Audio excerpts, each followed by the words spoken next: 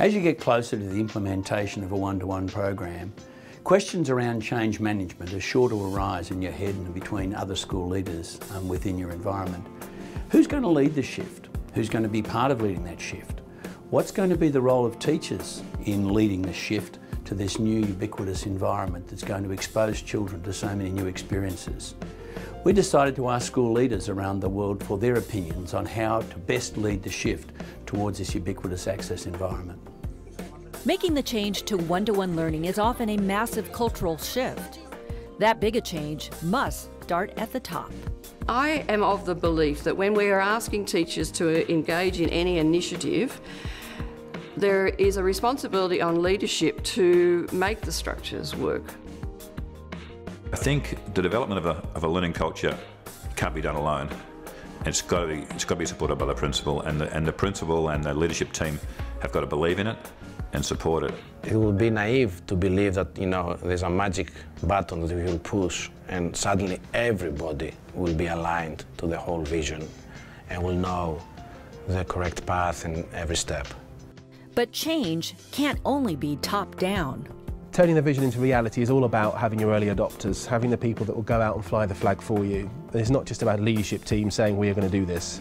It's about having teachers on the ground that are supportive of what you're doing and then are quite vocal in their support of you.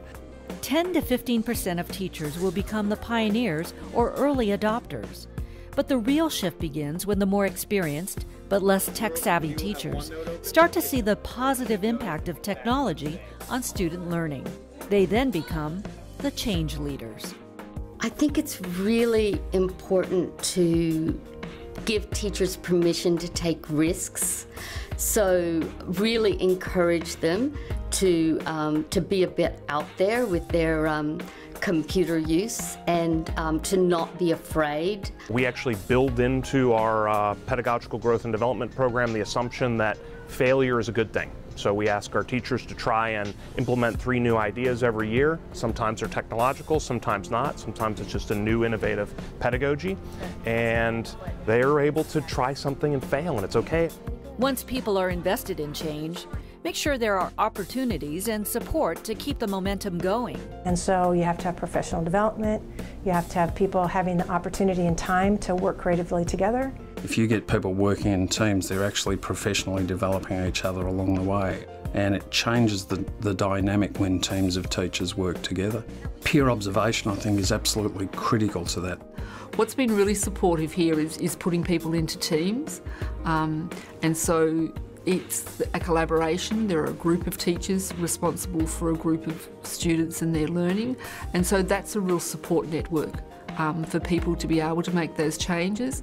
Making the change to one to one learning takes a measured and systemic approach, but the benefits are well worth it. So, my approach to cultural change is not something which is whimsical and um, difficult to define. It's about uh, putting in systems which are built around people and having them take part in the process of understanding and measuring what's going on and feeding that back and then seeing how we can improve collectively. And it is more interesting, it's more fun, it's different, uh, but it is fun.